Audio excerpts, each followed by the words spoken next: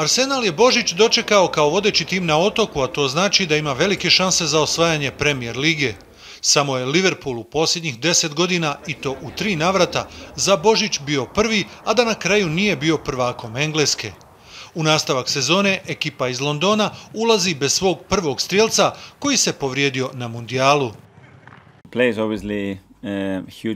Očigledno je povreda Hesusa na svjetskom prvenstvu veliki udarac. Mnogo će nam nedostajati i pred nama je veliki izazov da nadoknadimo njegov izostanak.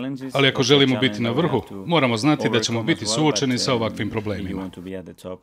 Pet bodova manje od Arsenala ima aktuelni prvak Manchester City, koji je prije par dana u Liga kupu savladao Liverpool, što je bila idealna prilika za Guardiolu da vidi u kakvoj su formi njegovi igrači.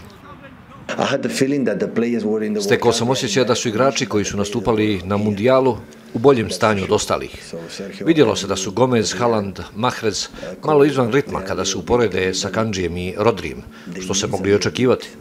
Malo iznenađenje što se Calvin Phillips iz Katara vratio s viškom kilograma i zbog toga neće biti u sastavu protivlica. Za City neće igrati ni otkrovenje mundijala Alvarez, koji je dobio dodatnih par dana za odmor, a slična je situacija i sa Tottenhamovim Romerom. Treneri su prisiljeni da balansiraju sa klubskim prohtjevima samo par dana nakon najvećeg uspjeha u karijeri nekih od njihovih nogometaša.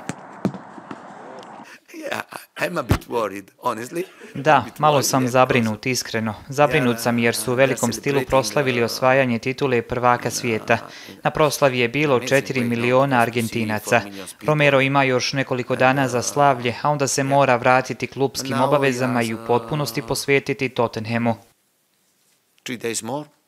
Iako je Premier Liga imala najviše igrača u Kataru, vice prvak Evrope Liverpool nije imao veliki broj nogometaša na mundijalu, pa će ekipa Jirgena Klopa, relativno odmorna i zaliječena, dočekati drugi dio sezone.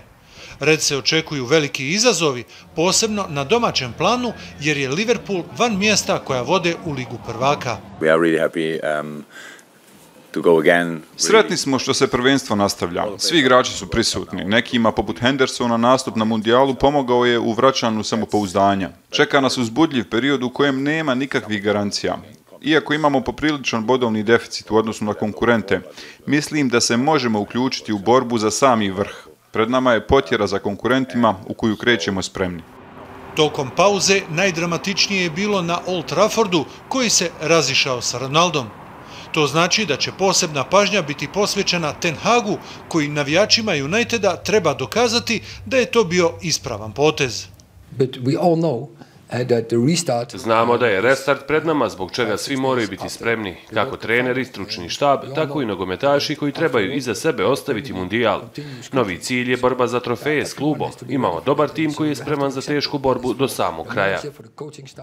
Mnogima je nogomet najbolji poklon za praznike, a Premier Liga se pobrinula da trodnevnim programom zadovolji apetite navijača širom svijeta. Mustafa Radončić, Al Jazeera.